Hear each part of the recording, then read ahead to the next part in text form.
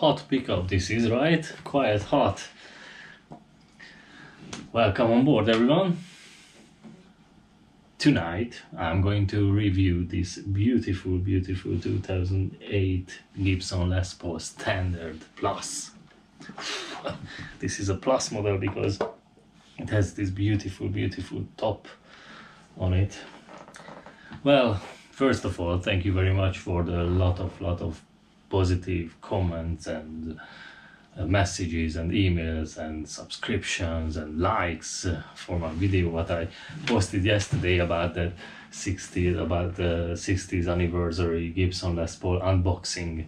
Yeah, so it was great reading the messages and your comments today morning. Thanks a lot. It, that video has been viewed more than about I don't know thousand times or even more in just less than 24 hours or something. So yeah. Great. So i decided from now on i'm going to launch this new series where where i where i just where i talk about all these all the guitars i've got here. Uh, for years and years i just uploaded little two three minutes videos about just playing on the guitars and things like that but uh, yeah that I think from now on I'm going to talk about them as well and uh, let you know everything what I know about the about the certain models what I've what I got here. So the first episode tonight and oh sorry just one more important thing. Yeah uh, in this series I think I I won't drink whiskey sorry I, I drank too much whiskey yesterday when I was shooting the unboxing video, maybe I was too excited or something, but you know, I, I drank quite a lot of whiskey, so quite a lot of whiskey. So in this series, I'm going to drink cappuccino or tea or something, you know. Tonight, I'm drinking this beautiful, beautiful Carraro espresso cappuccino, or I don't know what is it, but yeah. So tonight 2008 Gibson Les Paul Standard Plus. Well, first of all, first of all, this is not a mint guitar. No, not at all. This is now 12 years old and it's been played. So when people spend about two grand on a Tom Murphy aged, I mean fakely aged let's be honest, fakely aged because a guy, Mr. Tom Murphy, gets a brand new Gibson and then beats it up and things like that, makes it looks old, and people are willing to pay more than two grand for that job. I don't know. I prefer these sort of things, right? This is a genuine, honest, aged by life, aged by Mr. Life for free. yeah. So this was, this is a 2008 model 12 years old and aged by Mr. Life means that it's got few little scratches, few little marks, few little things.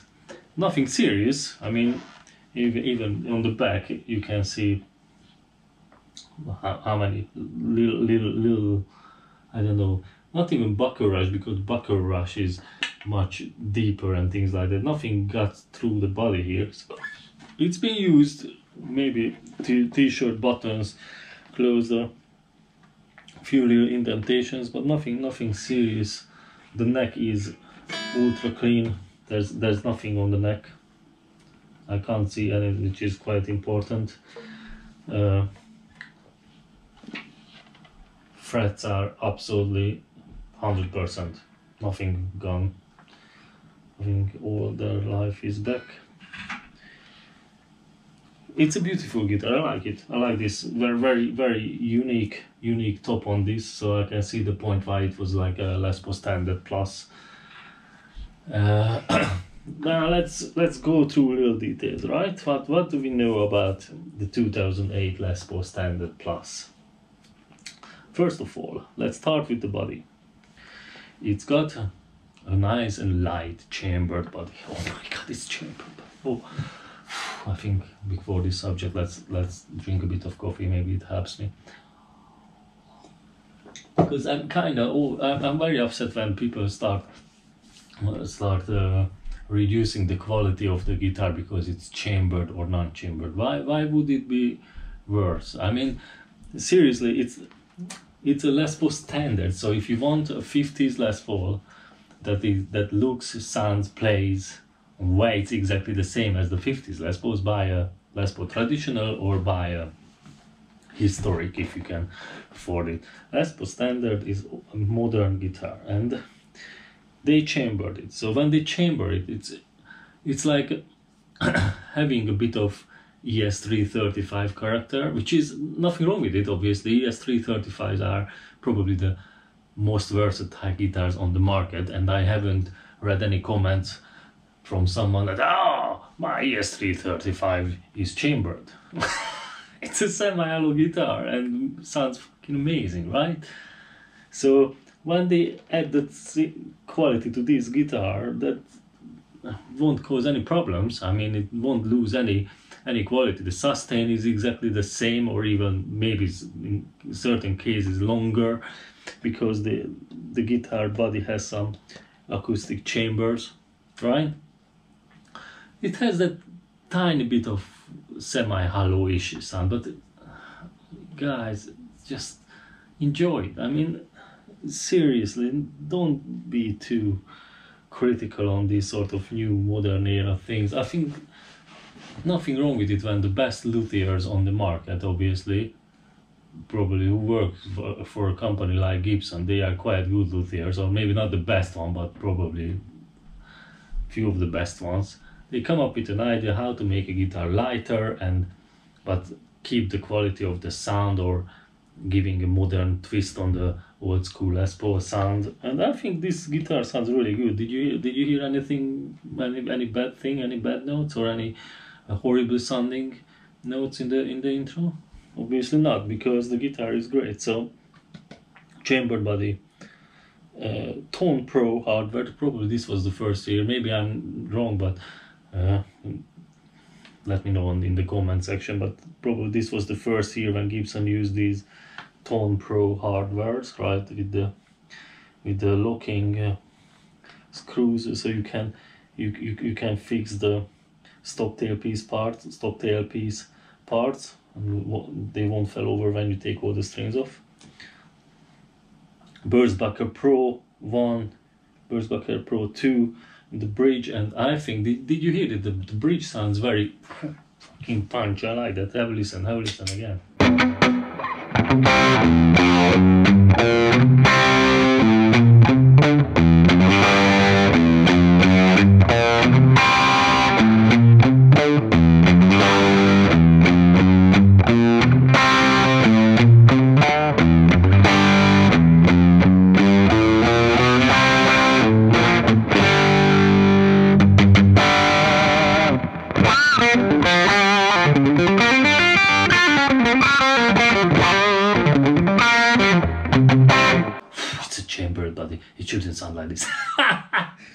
Fucking great, nothing wrong with it.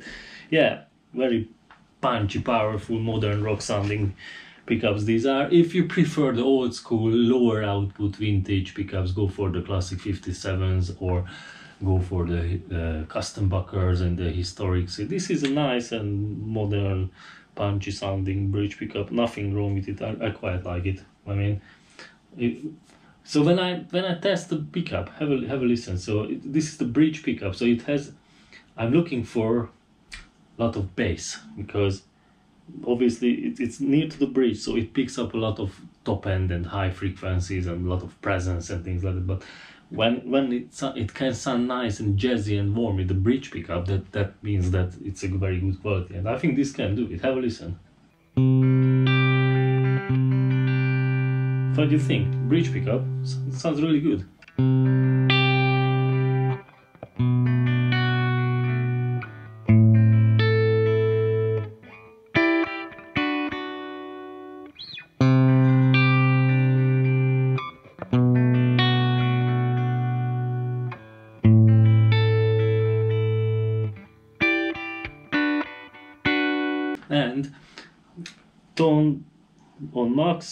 volume on max. So if, if, if I turn the tone, tone down a bit,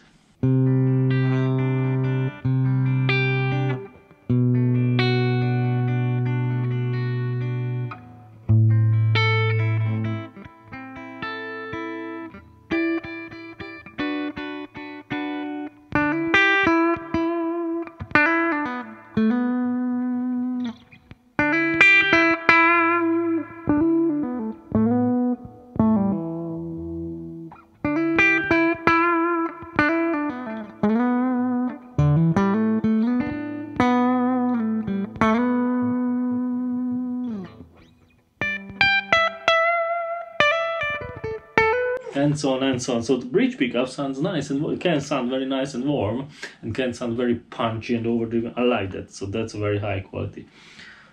Neck pickup, same thing, wide open everything.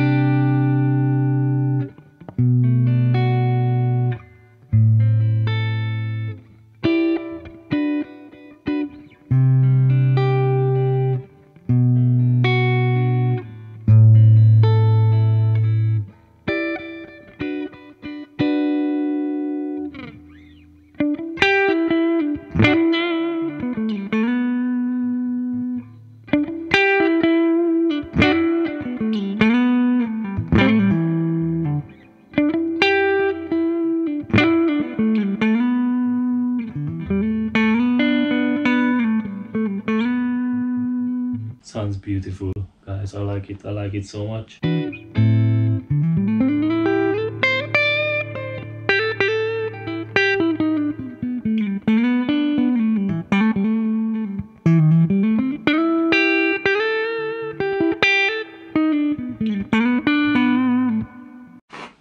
This was the first year when Gibson used asymmetrical neck shape. What it means, so the on the lower lower side of the neck, when when you do the bendings,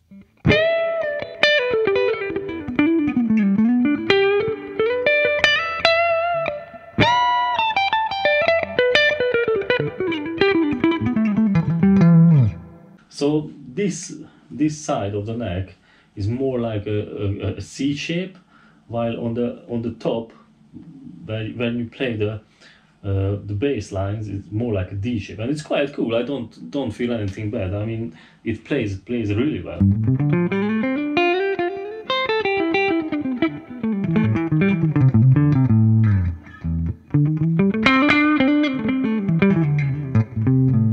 So see where my thumb is. So this this section of the neck is a bit chunkier, while this one here is a bit thinner, like a Ibanez guitar. So it, it it helps to play faster and things like that. So yeah, quite good, quite modern take on, on it. But overall, these are just tiny little millimeters, so you don't feel it. It's not nothing radical or anything.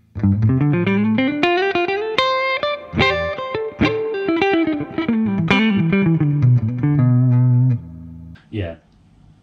Then, so that, that's the next. Another important thing. Uh, these guitars, the the frets were Plek'd. Plek'd, it's called. Uh, it this it had this sticker on it. Called.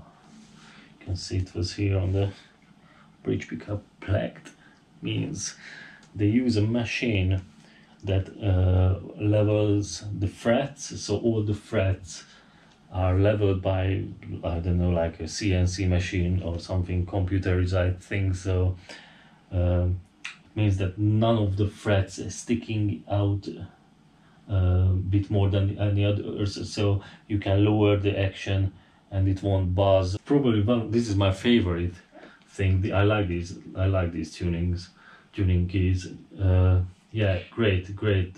Mini Grover mini I don't know locker thingies but very good because you don't have to wind the strings or anything just release if you got a string breakage on on on stage or anything you just release this little screw here just release it here take the string out put the other string tighten it tune it up and it's done. So yeah it makes much much faster than the old school vintage one that you have to wind or anything yeah. Very very cool. So tone pros Burstbucker, two Burstbucker, one, I think Burstbucker, two Burstbucker, one, uh, something, no, Burstbucker Pro, two Burstbucker Pro, one, or something like that.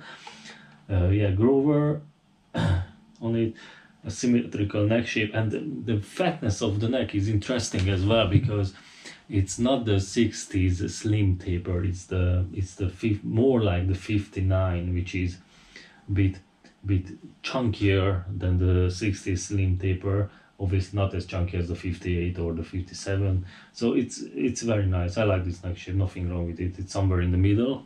Yeah. So Plek'd Burstbucker pickups tone pros. Yeah it doesn't have any of the push pulls or anything. It's not this year. Probably that those appeared on these guitars later. Chambered body very nice lightweight so if you have the light Les Paul standard then this one is good for you. So yeah it's a nice guitar I like it. 2008 have a look at my website guys. I'm going to shoot some HD uh, photos some very nice high quality photos from uh, about all the details on it uh, you can see all the little marks. I don't hide anything why would I do that? That doesn't make any sense to me. This is just aged by life. Gibson Les Paul standard 12 years old.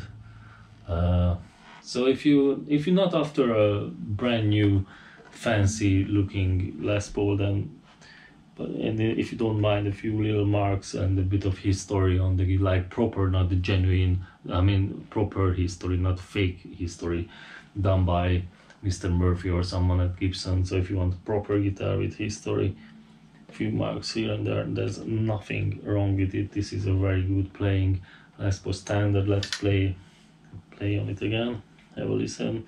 So